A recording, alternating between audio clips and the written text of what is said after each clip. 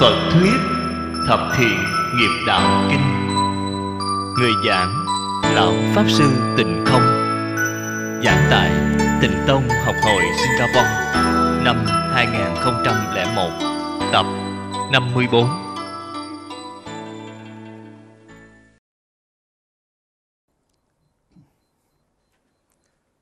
Chào chư vị đồng tu, Chào mọi người. Xin mở bản kinh ra. Kinh Thập Thiện Nghiệp Đạo, Trang thứ 16 Hàng thứ nhất. Niệm xứ trang nghiêm cố. Thiện năng tu tập, Tứ niệm xứ quán.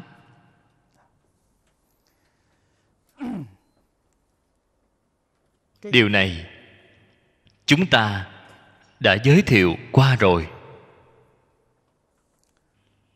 hôm nay, chúng ta đem nó làm một bài tổng kết.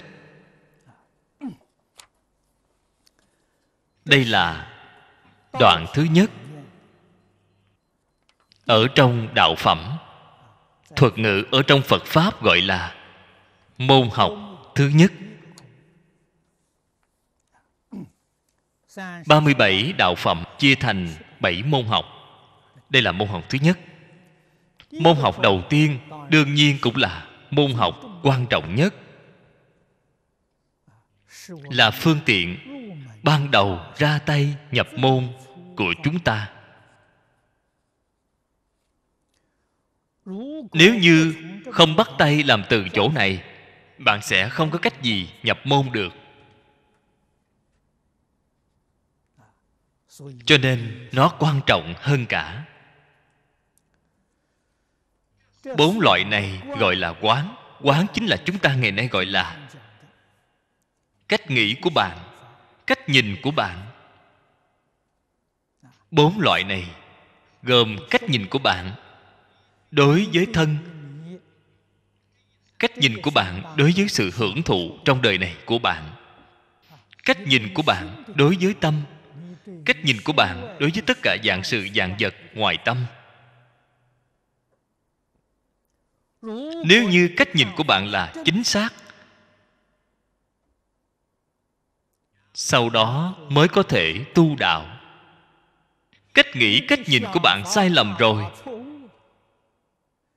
thì cho dù bạn rất tinh cần nỗ lực tu hành pháp bạn tu đều là pháp tà.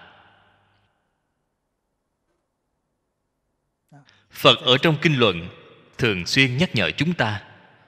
Tâm chánh, tất cả pháp đều chánh. Tâm tà, tất cả pháp đều tà.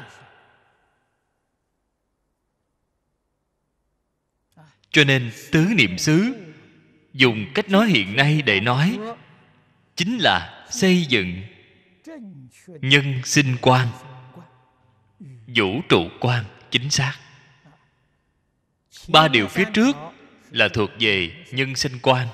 Một điều phía sau là thuộc về vũ trụ quan. Quán pháp vô ngã là thuộc về vũ trụ quan.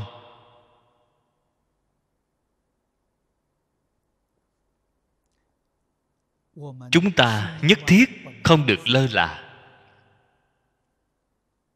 Thứ nhất, dạy chúng ta quán thân bất tịnh.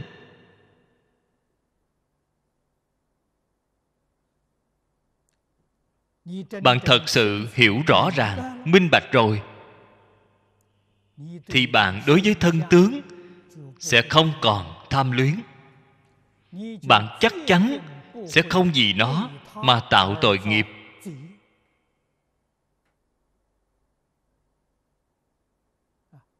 Chúng sanh tạo nghiệp. vì thân tạo nghiệp là chiếm đa số vì thân thể hưởng thụ. Người thế gian gọi là ngôi nhà ác thân. Mê vào ngôi nhà sát thân, tạo vô lượng vô biên tội nghiệp. Đều về bất như ý cho đời sau.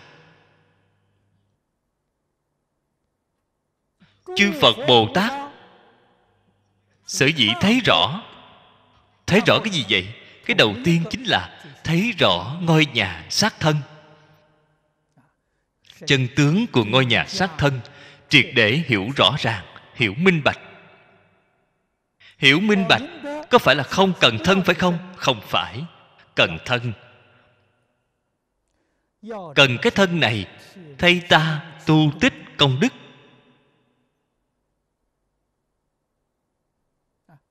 Người thế gian mê vào ngôi nhà sát thân lợi dụng thân tạo tác tội nghiệp. Phật bồ tát lợi dụng cái thân này tích lũy công đức vậy là khác nhau rồi. Từ đó cho thấy ngôi nhà sát thân là công cụ. Nó không phải mục đích. Điểm này nhất định phải nhận thức rõ ràng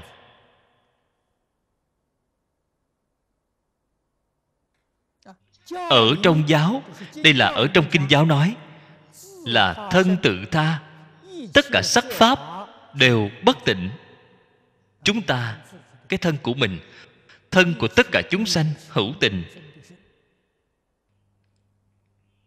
Sắc thân đều là vật bất tịnh. Tại sao bất tịnh vậy? Tâm không thanh tịnh. Tâm ô nhiễm, cho nên thân cũng bị ô nhiễm. Nếu như tâm thanh tịnh, thân liền thanh tịnh. Sự việc này ở trong kinh phật nói rất nhiều. Cảnh tùy tâm chuyển chúng ta cái thân này, nếu so với tâm mà nói, thì thân là cảnh giới. Là cảnh giới của tâm. Thân từ đâu mà có vậy? Là do tâm biến hiện ra. Phật mở đầu bộ kinh này đã nói, tất cả pháp từ tâm tưởng sanh. Thân chúng ta là từ tâm tưởng sanh khi bạn đến đầu thai, bạn có tưởng tưởng mới biến thành thân. Tại sao bạn trở thành cái tướng mạo này? Cái tướng mạo này là bạn tưởng trước khi đầu thai. Bạn ưa thích cái tướng mạo này, nó liền biến thành cái tướng mạo này. Từ tâm tưởng sanh. Sở dĩ người thế gian nói di truyền, tướng mạo của con cái rất giống cha, giống mẹ. Nó không phải di truyền trong phật pháp nói bạn, ưa thích cha, ưa thích mẹ, ưa thích cái tướng đó của họ. Mình liền biến thành cái tướng đó. Không phải di truyền, đây là tưởng tượng. Tất cả pháp từ tâm tưởng sanh, người xưa có cái gọi là trước 40 tuổi là chịu sự ảnh hưởng của đời trước sau 40 tuổi, thì thân thể tướng mạo của bạn phải tự mình tự chịu trách nhiệm. Tại sao vậy? Đây là, ở trong đời này, vọng tưởng của bạn, tư tưởng của bạn làm thay đổi tướng mạo của bạn. Nếu như ý nghĩ của bạn ác, hành vi ác, thì tướng mạo của bạn càng biến càng hung ác tâm địa bạn lương thiện, từ bi thì tướng mạo của bạn càng biến càng đẹp. Chính là cái đạo lý này. 40 tuổi về sau, thân thể của mình khỏe mạnh, tướng mạo là phải tự mình chịu trách nhiệm. Từ tướng mạo của bạn, từ thể chất của bạn bạn liền biết cái mà bạn bình thường tưởng đến là cái gì, nghĩ đến là cái gì, niệm là gì. Rất có đạo lý.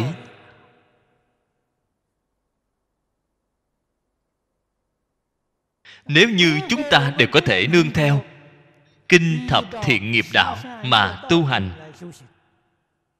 Phần trước, thế tôn ở trong tổng cương lĩnh chỉ dạy chúng ta. Ngày đêm thường niệm thiện pháp, ngày đêm không gián đoạn. Tư duy thiện pháp, quán sát thiện pháp, không cho phép mảy may bất thiện xen tạp bạn thật sự tu theo đó thì tướng mạo của bạn nhất định giống như phật bồ tát vậy. Đây là sự thật, không hề giả dối. Thể chất, tướng mạo của chúng ta ngày nay chưa đạt đến trình độ của bồ tát. Chính là chúng ta, mặc dù tu thiện, nhưng vẫn còn xen tạp bất thiện. Cho nên loại quả báo thù thắng này chúng ta chưa có đạt được. Một người tu hành có công phu hay không? Không cần nói. Nhìn qua tướng mạo của bạn là biết rồi. Nhìn động tác của bạn là hiểu rồi. Bạn có công phu hay không? Công phu của bạn đến trình độ như thế nào? Đâu có thể gạt người ta được. Gạt người khác. đó chính là gạt người ngu thế gian. Người có trí tuệ người hiểu biết bạn không gạt họ được. Chư phật bồ tát tuyệt đối không chà đạp thân thể khéo biết lợi dụng thân thể. Cái gọi là mượn giả tu thật. Tướng là giả phạm cái gì có tướng đều là hư vọng. Thân tướng này cũng là hư vọng hư vọng để tu thật. Cái thật là gì vậy? Trí tuệ chân thật. Trong kinh vô lượng thọ đã nói với chúng ta ba cái chân thật. Khai hóa hiển thị chân thật chi tế. Kinh điển tịnh độ nói, chân thật chi tế chính là thiền tông gọi là tâm tánh khai hóa hiển thị chính là minh tâm kiến tánh.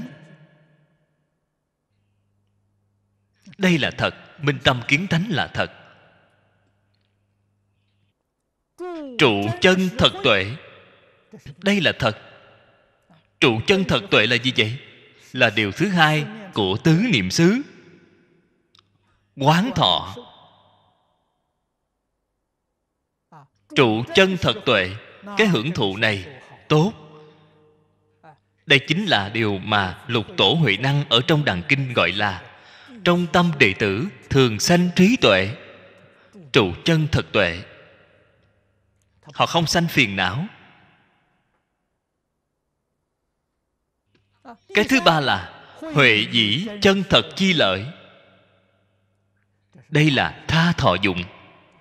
Thân chúng ta trụ ở thế gian này đối với tất cả chúng sanh, phải bố thí cúng dường lợi ích chân thật. Phật bồ tát trụ thế, chỉ có chân thật, không có hư vọng. Sự hưởng thụ của các ngài, thụ chính là hưởng thụ thật sự là sự hưởng thụ tối cao vô thượng là trí tuệ, nhất định, không phải phiền não.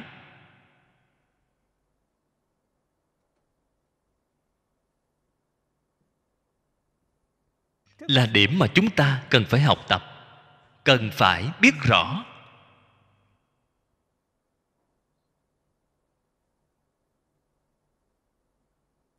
Điều thứ ba, dạy chúng ta quán tâm vô thường, tâm là ý nghĩ ý nghĩ là hư vọng không phải chân thật. Cái chân thật trong kinh lăng nghiêm nói là thường trụ chân tâm. Thường trụ là vĩnh viễn bất biến. Các vị phải biết chân tâm là vĩnh viễn bất biến. Thanh tịnh, tịch diệt. Chúng ta hiện nay ở trong chân tâm đã khởi ý nghĩ. Ý nghĩ này là gì? Ý nghĩ là vô minh. Vô minh là cái tướng động. Chân tâm là tịch tỉnh. Nó bất động.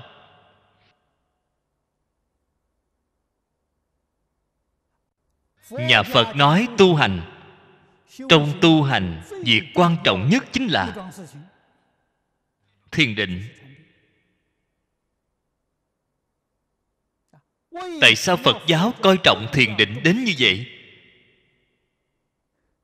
Thiền định không phải nói thiền tông tu thiền định, mà tám dạng bốn ngàn pháp môn. Môn nào cũng là tu thiền định. Mọi người phải biết cái đạo lý này. Niệm phật cũng là tu thiền định. Giới định tuệ tam học. Bạn xa rời định thì làm gì có trí tuệ? Thiền định sanh trí tuệ.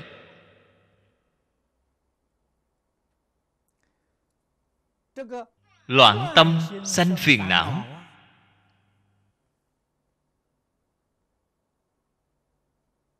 Loạn tâm là gì vậy? Chính là tạp niệm. Niệm trước diệt rồi, niệm sau liền sanh. Phàm phu sáu cõi, người nào cũng đều là như thế từ sáng đến tối, khởi tâm động niệm. Vĩnh viễn không biết ngừng nghỉ. Bạn muốn đình chỉ ý nghĩ, chỉ chính là định, là chỉ quán.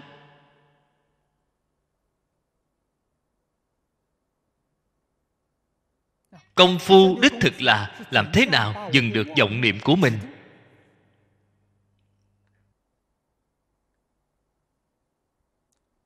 Tám dạng bốn ngàn pháp môn chính là tám dạng bốn ngàn phương pháp khác nhau. Cách thức khác nhau.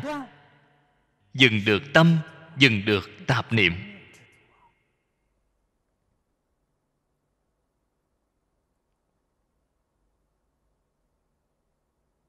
Tịnh tông chúng ta, đây là pháp môn tiện lợi nhất ở trong tất cả pháp môn. Đây là dùng niệm phật. Dùng cái phương pháp niệm phật này để dừng vọng tâm của chúng ta lại.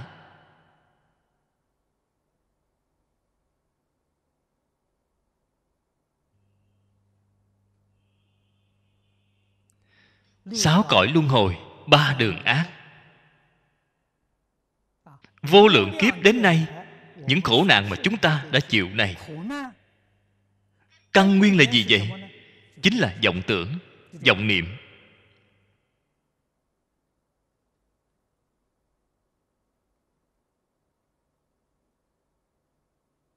Cho nên phật dạy chúng ta phương pháp hay. Dùng một câu a di đà phật này để dừng ý nghĩ lại. Dùng một ý niệm để trừ sạch tất cả mọi ý nghĩ. Niệm phật, niệm như thế nào? Mới công phu, đắc lực, vọng niệm vừa khởi lên thì a di đà phật liền đè cái ý nghĩ này xuống. Ở mọi lúc, ở mọi nơi phải có sự cảnh giác cao độ. Ý nghĩ bất kể là nghĩ thiện hay là nghĩ ác thấy đều phải dẹp sạch. Tại sao vậy? Nghĩ thiện là ba đường thiện, nghĩ ác là ba đường ác. Đều không ra khỏi sáu cõi luân hồi. Thoát khỏi sáu cõi luân hồi, phải tình niệm.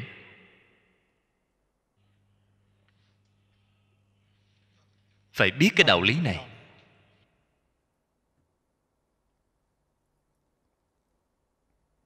Người thế gian biết nghĩ ác là không tốt, nghĩ thiện tốt.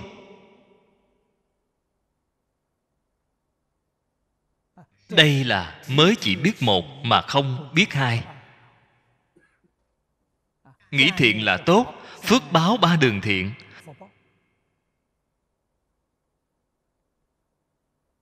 Phước báo là có thể hưởng hết, sau khi hưởng xong rồi, ác nghiệp lại hiện tiền cho nên, đây không phải là pháp rốt ráo.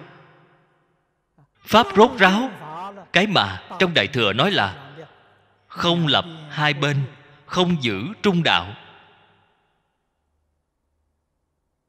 Thiện ác là hai bên. Hai bên đều buông xả rồi, ý nghĩ về trung đạo cũng không còn. Vào lúc này, thường trụ chân tâm đã hiện tiền rồi. Thường trụ chân tâm hiện tiền mới là trụ chân thật tuệ. Chân thật tuệ là nhìn thấy. Chân tướng vũ trụ nhân sanh.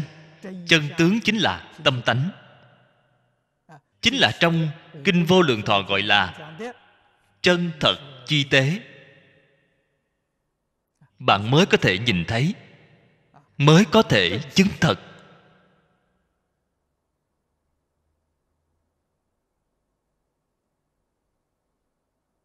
Sau đó mới có thể. Thật sự, đại từ đại bi vốn có ở trong tự tánh. Tâm từ bi hiện tiền.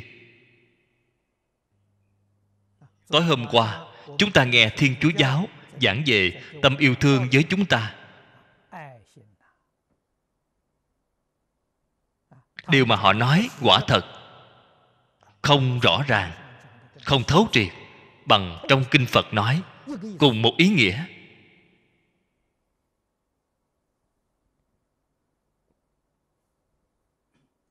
Cho nên cụ hứa triết nói, tình thương chính là tôn giáo. Lý mộc nguyên hỏi bà, tôn giáo là gì? Tình thương chính là tôn giáo.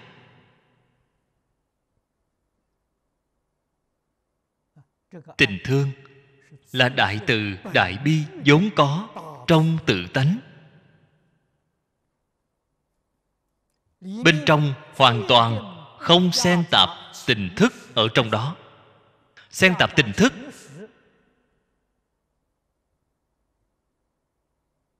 Thì không phải là tự tánh. Cho nên ở trong phật pháp nói về từ bi, có bốn loại. Ái duyên từ bi. Chúng sanh duyên từ bi. Đây là chúng sanh sáu cõi có. Pháp duyên từ bi là bồ tát có.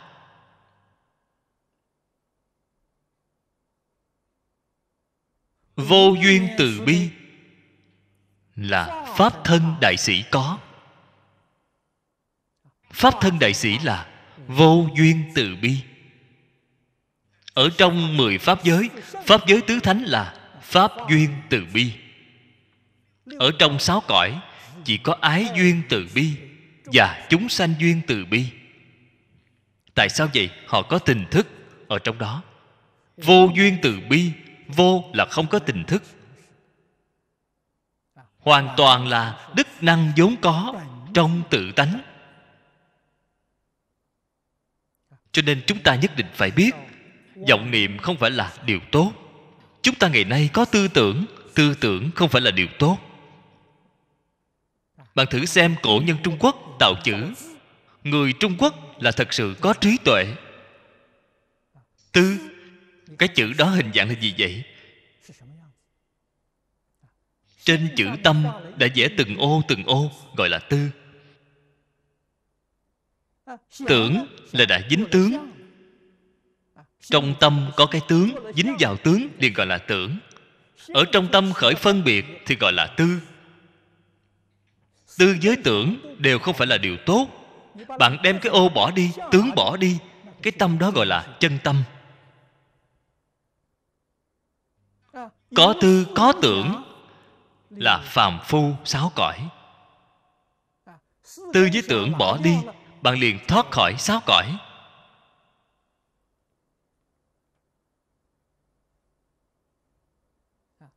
Cho nên văn tự trung quốc là ký hiệu chứa đầy trí tuệ.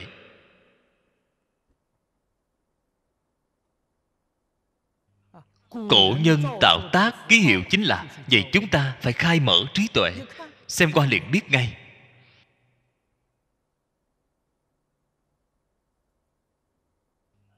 Bạn có thể không dùng tư tưởng thì cái bạn dùng là trí tuệ chân thật. Bạn dùng tư tưởng liền chứng ngại mất trí tuệ chân thật của bạn rồi.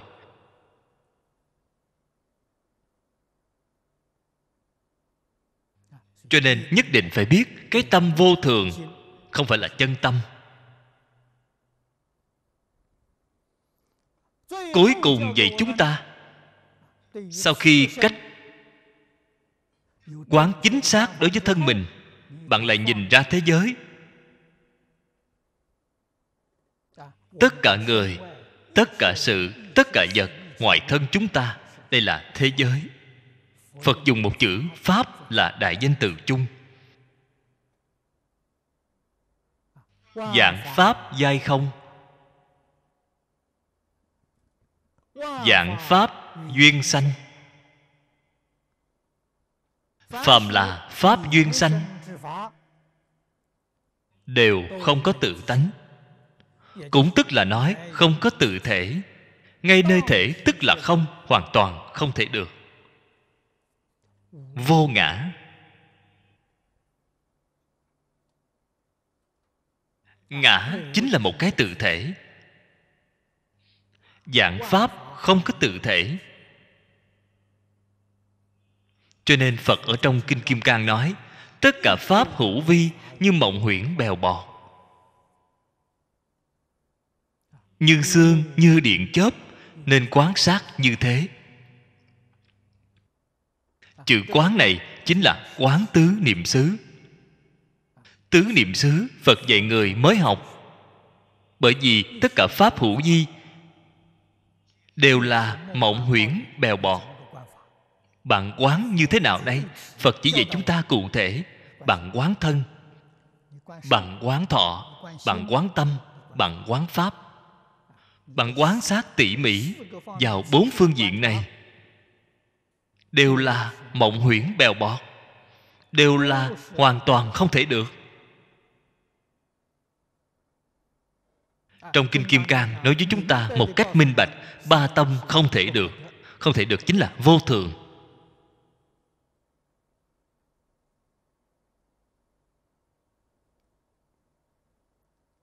Cho nên chúng ta nhập môn học phật.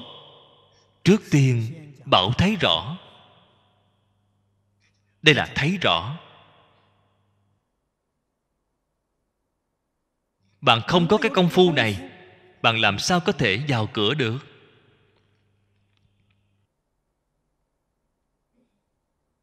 Tôi học phật, tiếp xúc phật pháp đại khái. Khoảng một tháng, tôi đã gặp được đại sư chương gia. Ngày đầu tiên gặp ngài ngài liền dạy tôi, nhìn thấu buông xả. Thấy rõ, cụ thể là quán tứ niệm xứ. Buông xả chính là tứ như ý túc, tứ thần túc ở trong đạo phẩm.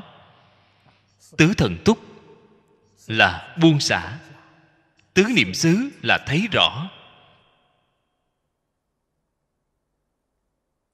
Tứ chánh cần, chính là thập thiện nghiệp đạo. Đoạn ác tu thiện, tích lũy công đức, là pháp cơ bản của phật pháp. Xa lìa pháp cơ bản, vô lượng vô biên pháp môn. Bất luận bạn tinh cần tu tập như thế nào, cuối cùng cũng đều hỏng cả bạn không có cơ sở bạn tu hành không có cơ sở. Cho nên căn bản là quan trọng hơn hết mọi thứ. Chào chư vị đồng tu, chào mọi người. Xin mở bản kinh ra. Kinh thập thiện nghiệp đạo, trang thứ 16 kinh văn, hàng thứ hai. Chánh cần, trang nghiêm cố tất năng đoạn trừ, nhất thiết bất thiện pháp. Thành nhất thiết thiện pháp. Đây là tứ chánh cần ở trong đạo phẩm. Tứ chánh cần là tinh tấn ba la mật đoạn ác tu thiện. Trong kinh nói với chúng ta, đây là cương lĩnh. Phạm vi của nó cũng là sâu rộng vô tận.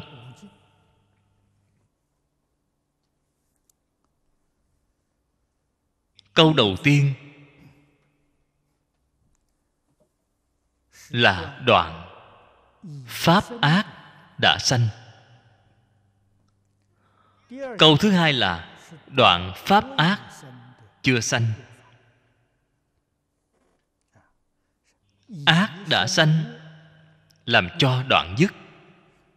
Ác chưa sanh khiến không sanh. Đây là hai điều của đoạn ác.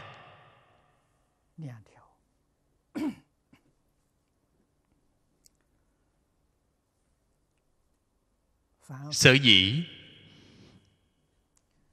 phạm phu. luân hồi vô lượng kiếp.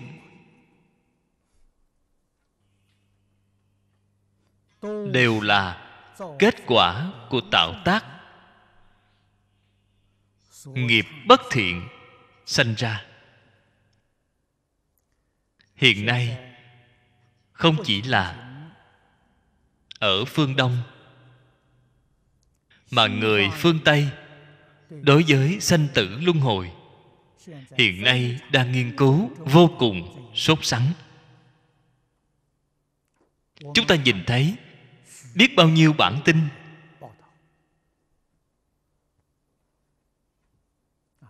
gần đây đồng tu từ nước mỹ bên đó gửi về cho tôi bảy quyển sách. Mỗi một quyển phân lượng rất nhiều. Đóng bìa cứng, hầu như đều dày cỡ chừng này.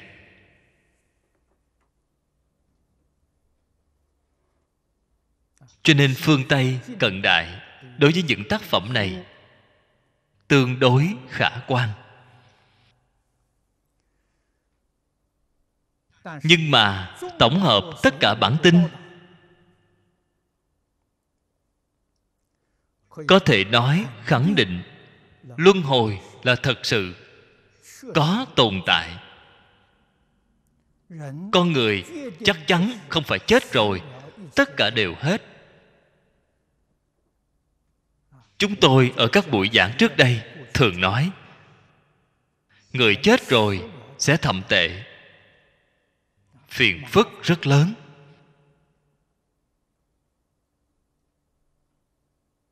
Nhưng mà, vì sao có luân hồi?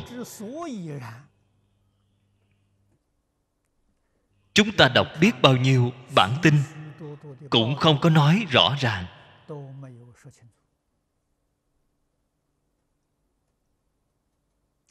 Thật sự, đối với sự việc này, nói một cách rõ ràng, thấu triệt, là ở trong kinh phật.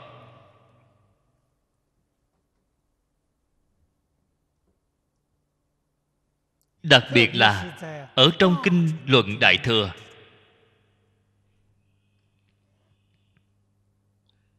Mới thật sự là đã nhận thức được bộ mặt xưa nay của vũ trụ nhân sanh. Tuy phật nói rất nhiều đồng tu, học phật chúng ta cũng nghe rất nhiều, cũng thấy rất nhiều. Nhưng mà đối với cảnh giới trước mắt, vẫn cứ mê chấp, chứ không thể thấy rõ, không thể buông bỏ. Đây là nguyên nhân gì vậy? Nguyên nhân là chưa có lĩnh ngộ thấu triệt đối với những đạo lý chân tướng sự thật mà trong kinh luận đã nói. Biết là có sự việc như vậy, nhưng mà không hiểu rõ. Không rõ lý, rốt ráo. Cho nên mới xảy ra hiện tượng mâu thuẫn trong học phật.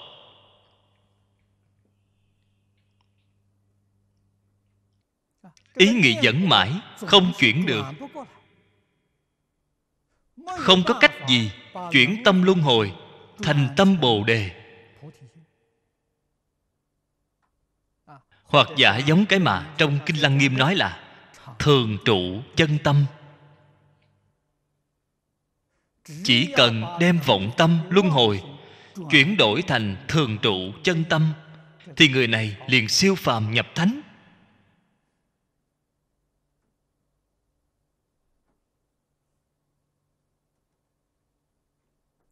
người này ở trong phật pháp gọi là giải thoát rốt ráo. Đây là chỗ thù thắng của phật pháp.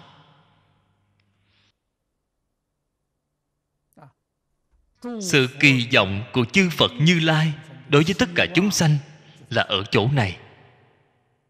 Hy vọng mỗi một chúng sanh đều giác ngộ. Hy vọng mỗi một chúng sanh thoát khỏi luân hồi.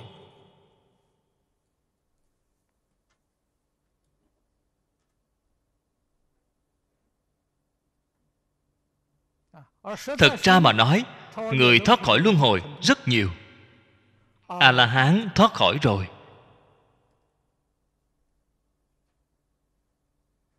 Bích chi phật thoát khỏi rồi. Chư vị bồ tát cũng thoát khỏi rồi.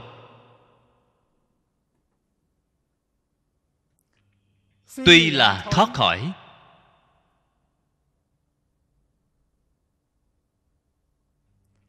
nhưng chưa chắc đạt được quả báo cứu cánh viên mãn.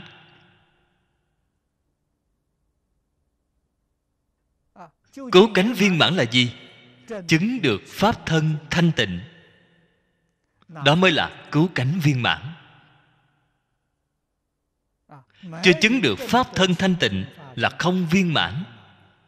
Tuy thoát khỏi luân hồi cũng không viên mãn. Cái chân tướng sự thật này, chúng ta nhất định phải biết. Chúng ta học phật là học cái gì, là vì cái gì? Nếu như vì phước báo ở trong sáu cõi luân hồi, vì thì tứ chánh cần là đủ rồi. Bạn biết đoạn ác tu thiện, tích lũy công đức thì bạn chắc chắn được phước báo trời người.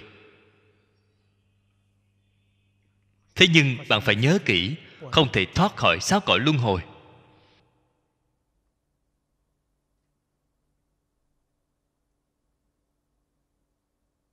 Muốn thoát khỏi luân hồi, nhất định phải chứng được pháp thân thanh tịnh. Đó là thật sự thoát khỏi thoát khỏi vĩnh viễn rồi. Khởi điểm của tu hành chính là ở đoạn ác tu thiện. Hai sự việc này chúng ta phải siêng năng mà làm.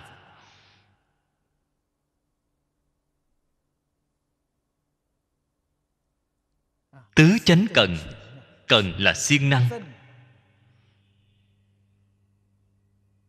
Phải nỗ lực chăm chỉ mà làm. Phật nói bốn điều này. Đây gọi là chánh cần. Đây không phải là tà pháp, đây là chánh pháp.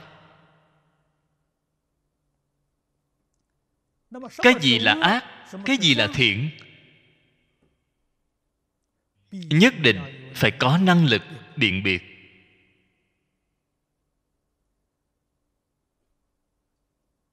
Phân biệt căn bản của thiện ác.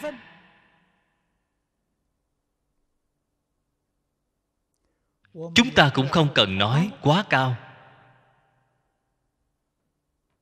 Là ngay trong cảnh giới trước mắt này của chúng ta.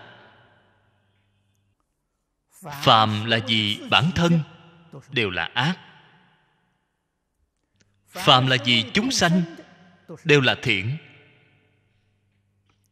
chúng ta phải biết cái đạo lý này.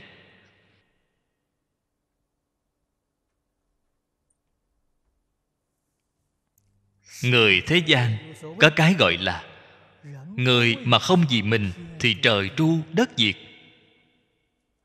Cái ý này giống như là nói, người khởi tâm động niệm vì bản thân là chuyện bình thường. Có người nào mà không vì mình tại sao phật nói vì mình là ác? Đây là cách nói của phật, không giống như người thế gian. Cũng chính là cách nói của người giác ngộ, không giống như người chưa giác ngộ.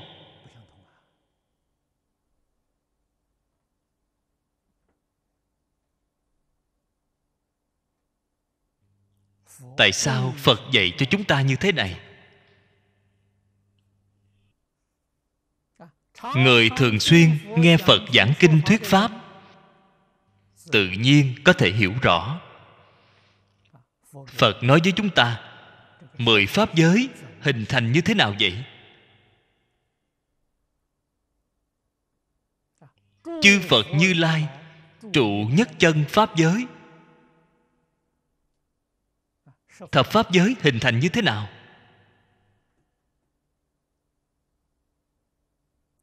Thập pháp giới là do vọng tưởng phân biệt chấp trước của chúng sanh biến hiện ra. Chính là trong kinh thường nói, tất cả pháp từ tâm tưởng sanh.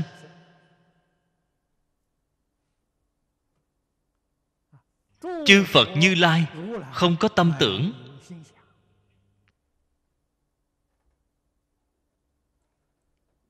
Cho nên là nhất chân pháp giới. Trong mười pháp giới, có tưởng, có ý nghĩ.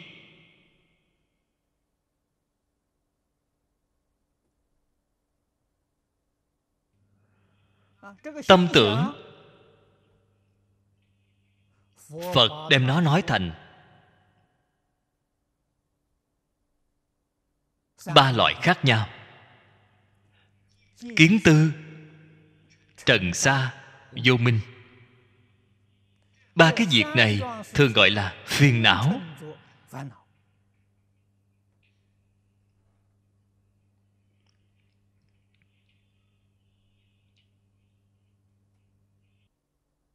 Ở trong kinh hoa nghiêm, phật không có dùng cái danh từ này. Phật đã đổi một câu nói khác là vọng tưởng phân biệt chấp trước. Vọng tưởng là vô minh phiền não. Phân biệt là trần sa phiền não. Chấp trước là kiến tư phiền não.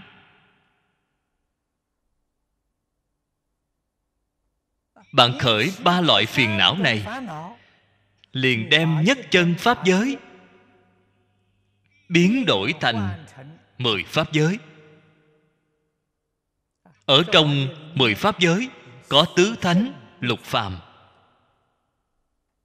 Lục phàm thường gọi là sáu cõi luân hồi. Cái này là cảnh giới rất không tốt.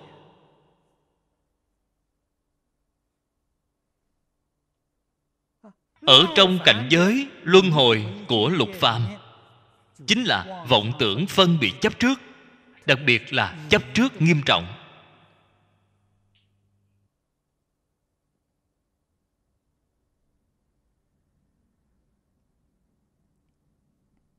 Kinh kim cang, mọi người đều đọc qua. Cổ đức nói với chúng ta, bộ kinh này tuy văn tự không nhiều chỉ có năm ngàn chữ. Nó phân thành hai bộ thượng hạ. Nửa bộ thượng. Phật dạy chúng ta, lìa tướng.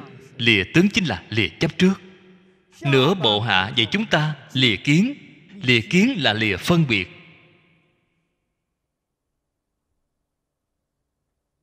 Bạn có thể lìa tướng không tướng ngã, không tướng nhân, không tướng chúng sanh, không tướng thọ giả, thì sáu cõi luân hồi sẽ không còn? Thoát khỏi rồi.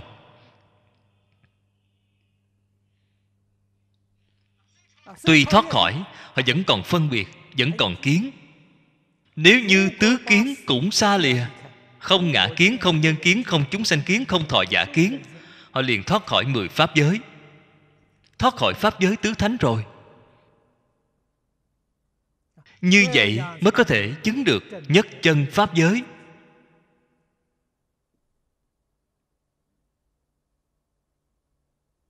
Nếu chúng ta hiểu rõ cái đạo lý này, thì tự nhiên sẽ giác ngộ thôi. Tại sao phật nói, khởi tâm động niệm vì bản thân là ác. Khởi tâm động niệm vì bản thân là dính tướng tướng ngã chấp trước kiên cố, tướng ngã. Hay nói cách khác bạn vĩnh viễn không thoát ly khỏi luân hồi. Bạn nói đây là thiện hay là ác?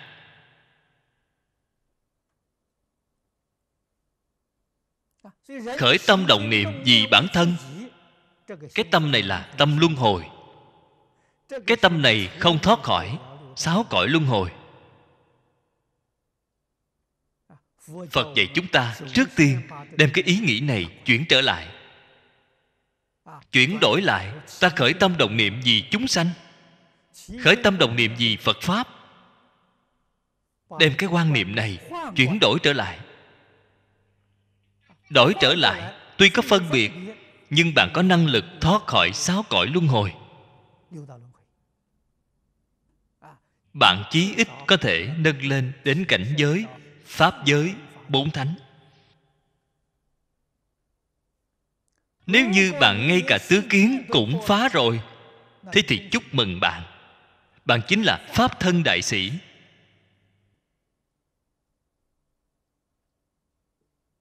Bạn thoát khỏi mười pháp giới.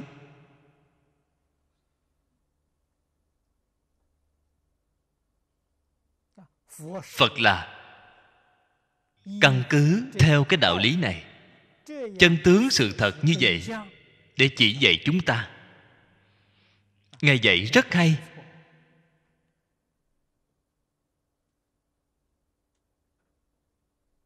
Ở trong cửa phật thường nói, chúng sanh căn tánh lời độn.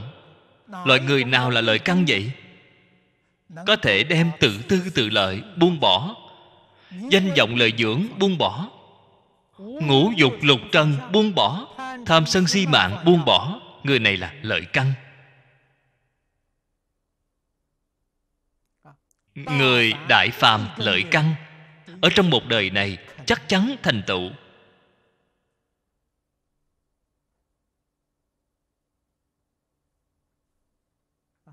Người độn căn thì không buông được. 16 cái chữ này. 16 cái chữ này là gốc của luân hồi.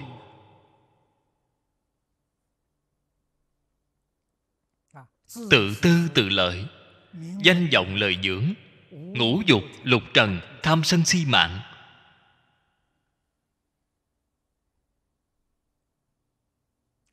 Chắc chắn không phải là những thứ tốt.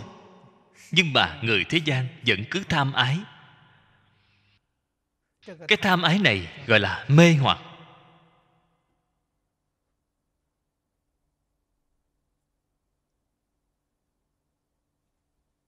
Người học phật chúng ta, nghe lời giáo huấn của phật rồi phải giác ngộ, phải quay đầu. Quyết định không bị mê hoặc. Biết những thứ này đều là tội nghiệp.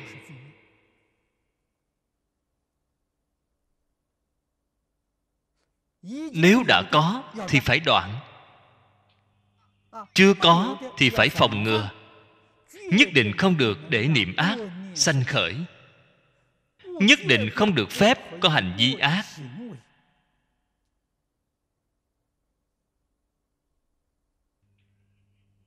Nếu như có niệm ác, có hành vi ác, hiện tại, bất kể bảo vệ tốt như thế nào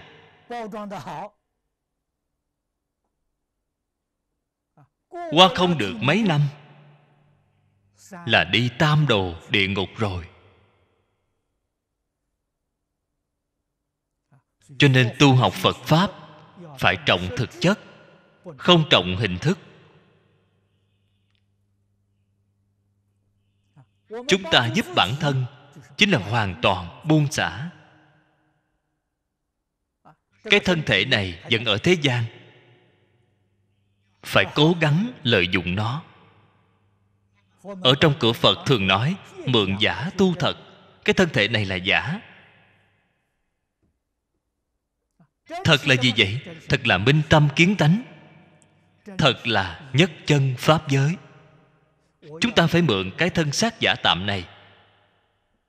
Ở trong mấy chục năm này, tu là sửa đổi. Đem tất cả sai lầm đều sửa đổi trở lại. Nâng cao mình đến nhất chân pháp giới. Thì ngay đời này, bạn sẽ không bị uổng phí. Bạn đời này thật sự có ý nghĩa, có giá trị. Nếu như không thể nâng cao, thoát khỏi luân hồi, khế nhập nhất chân pháp giới. Chúng ta một đời này vẫn say sống mộng chết như cũ, mơ mơ hồ hồ trải qua một đời. Sau khi mạng sống kết thúc rồi, lại đi đầu thai luân hồi tiếp. Phật nói với chúng ta, đời sau đầu thai có thể vào được thân người là rất hiếm hoi. Đại đa số đi về đâu vậy đi vào ngạ quỷ, địa ngục súc sanh.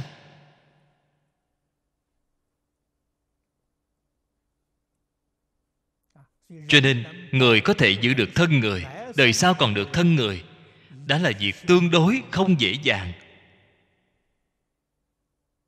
Nhất định phải biết đoạn ác, tu thiện mới có thể giữ được thân người.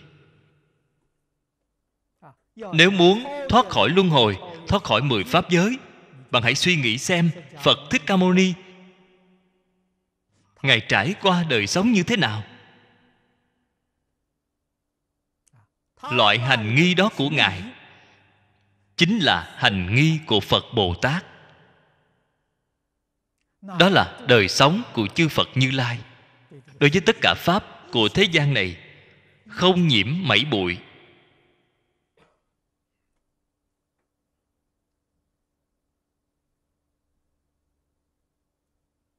Người ta đời sống đơn giản ngài không phải không có được danh vọng lợi dưỡng ngài sanh ra đã có rồi ngài sanh ra đời là dương tử nếu ngài không xuất gia tu hành ngài tương lai làm quốc dương kế thừa ngôi vị của phụ thân ngài cổ nhân gọi là quý di thiên tử, phú hữu tứ hải. Ngài cái gì cũng đều có. Người ta từ bỏ, rủ sạch. Làm cho chúng ta thấy. Buông bỏ tự tư tự lợi, buông bỏ danh vọng lợi dưỡng. Thích ca mâu ni phật thật sự buông bỏ rồi. Biểu diễn cho chúng ta thấy, không phải giả buông xả sự hưởng thụ, ngũ dục lục trần. Buông xả tham sân si mạng. Ngài làm được rồi. Người đó là người thật sự giác ngộ. Người đó gọi là phật đà. Dạng người đó gọi là bồ tát. Dạng người đó không ở trong mười pháp giới. Huống hồ là sáu cõi.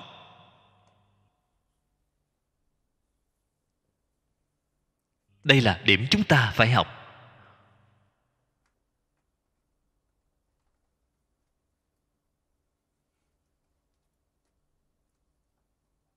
Đây là thật sự học phật.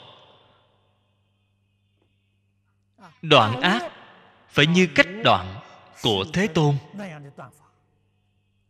Tu thiện cũng phải như cách tu của thế tôn. Thế tôn cả đời tu thiện gì vậy?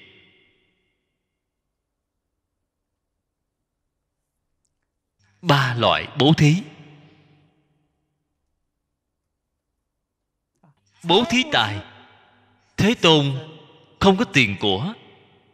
Dùng thân thể. Thân thể là nội tài. Dùng thân thể vì xã hội phục vụ. Đây là thuộc về bố thí tài. Dùng thân thể, dùng thể lực mỗi ngày, đi dạy học khắp nơi, giáo hóa chúng sanh. Đây là bố thí nội tài. Nội dung dạy học là giúp người khai ngộ,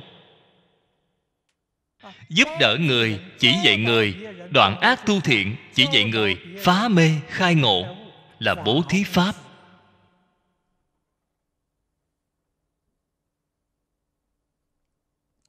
An ủi một phần chúng sanh khổ nạn. Hòa lẫn thành một khối đối với đời sống của họ. Khiến họ sanh tâm hoan hỷ là bố thí vô úy. Sự nghiệp của thích ca mâu ni phật cả đời làm.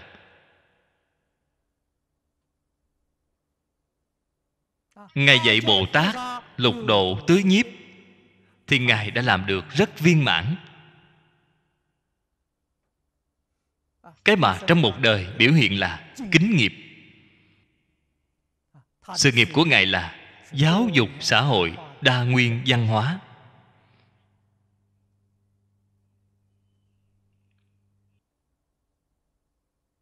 Từ thị hiện thành phật. Cho đến ra đi khỏi thế gian này, ở trong 49 năm, không có một ngày nghỉ ngơi hàng ngày giáo hóa chúng sanh hàng ngày giảng kinh thuyết pháp. Đây là chánh cận chúng ta cần phải biết học tập. Cho nên học phật, thích ca mâu ni phật chính là mẫu mực của chúng ta. Chúng ta mỗi ngày cúng dường hình tượng thích ca mâu ni phật nhìn thấy rồi, phải hướng về ngài học tập. Không học được, phải sanh tâm hổ thẹn. Phải cố gắng nỗ lực, không ngừng nâng cao mình lên.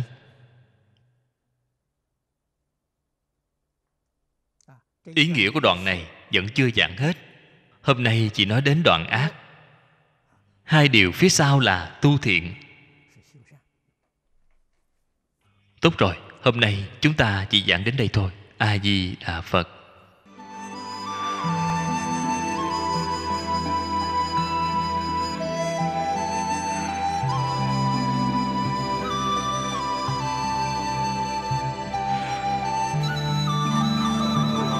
Cẩn dịch, viên đạn cư sĩ, vòng tay cư sĩ, vòng tay cư sĩ a gmail com. Người đọc hạnh quan phát tâm cúng dường, do gia đình phật tử thiện đức, thành kính cúng dường. Nguyện cả thảy chúng sanh đều tín niệm di đà, đồng cầu sanh về nước cực lạc. Nguyện đem công đức này trang nghiêm cõi nước phật trên đền bốn ơn nặng dưới cứu khổ ba đường. Nếu có ai thấy nghe, đều phát tâm bồ đề. Hết một báo thân này đồng sanh về nước cực lạc. Nam mô a di đà phật.